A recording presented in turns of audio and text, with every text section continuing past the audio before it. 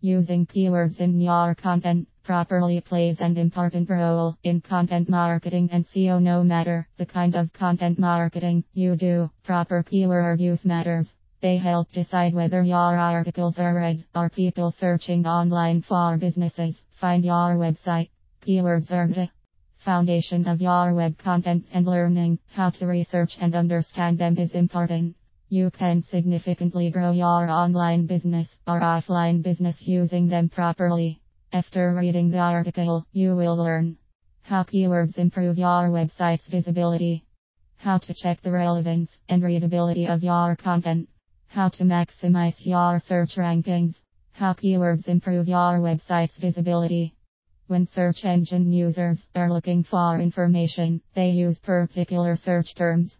The keywords and phrases on your content page is therefore one of the main on page elements that search engines like Google use in indexing results for its users. Moreover, when your content is indexed in search, Engine results. Words which appear in the user's search query are bolded in the title and content summary. This helps users recognize if the page is likely to be relevant to their search.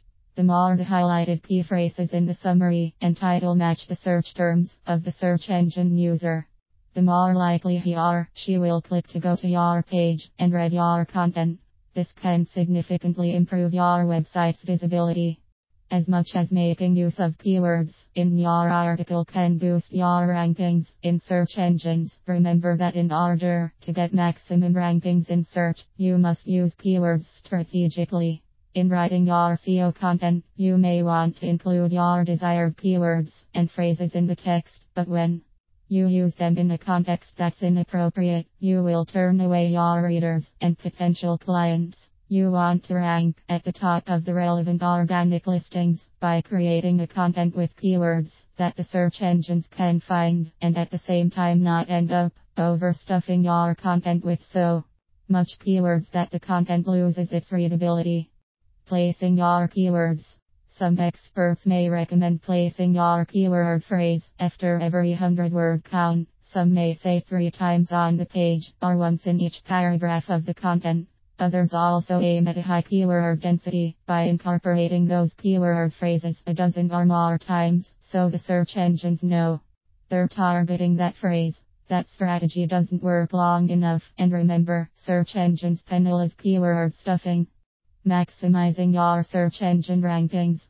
Rather than focusing too much on how many times you've used your target keyword phrase, take an approach to first focus on the content's uniqueness, value, and its relevance. By focusing on user intents and what would bring people to your site, you will be able to come up with the appropriate search terms you'll need to incorporate in your content. If you have relevant keyword phrases that are aligned with the content, then they will naturally fall into place and at the same time make sense to your target audience. However, to maximize your search engine rankings, your main keyword or variation of it should not miss these key places on your content page. The URL, the title and H1 tags, the meta description, links to related content the first sentence of the content, or at least in the first paragraph. Subheads Consider using a table of contents with jump links if your content is long. Image file names and alt text. If you have a website for an online or offline business, remember potential clients won't just wander and stumble on your site. The primary way people find your website is by using search engines like Google and online. You have far more competition than you ever would in your own area. By using keywords properly, you can increase traffic to your site and consequently grow your online or offline business.